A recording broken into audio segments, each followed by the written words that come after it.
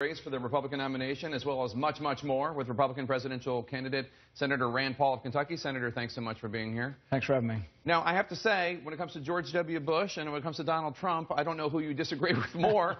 Where do you come down uh, on this uh, debate? You know, I think that uh, obviously we have to start with terrorists are always primarily Yes, responsible for attacks. And once we get beyond that, there are some parallels, of course. I mean, going into 9 11, the biggest uh, failure of the Bush administration, but really of the FBI, was that we caught the 20th hijacker a month in advance. Zacarias Moussaoui. Yeah, he wrote seven. The FBI agent that caught him wrote 70 letters to FBI headquarters saying we should look at this guy's computer. We should get a warrant, and we never did.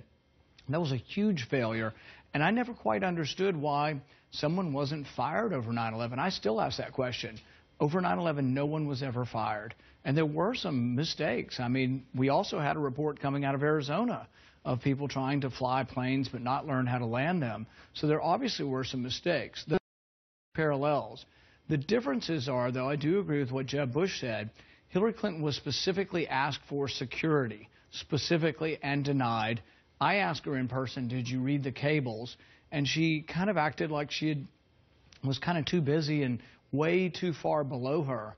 But the Secretary of State is responsible for providing the defense for the embassies, and the fact that they specifically requested not once but dozens of times for more security does lead me to believe that she does have culpability for what happened at Benghazi. Well, it would seem your, your answer is uh, at least consistent. You're, you're holding both administrations accountable for, for what happened. Let me ask you, though, is this um, below the belt for Donald Trump to bring this up? His, he, he's saying, look, Jeb Bush said my brother kept us safe, and that's not true.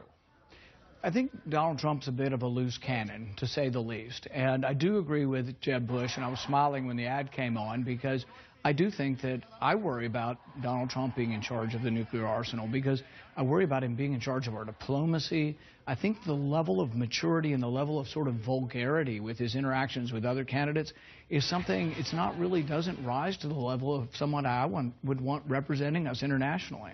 I want to ask you about um, legislation that you're introducing about a big issue uh, before the Congress right now, the, the debt ceiling and whether or not the nation uh, should raise the debt ceiling to pay off the debts. It's called Cut, Cap, and Balance. It would introduce $207 billion in cuts while preserving spending for Medicare, Social Security, military pay, and veterans benefits. Where does the $207 billion in cuts come from?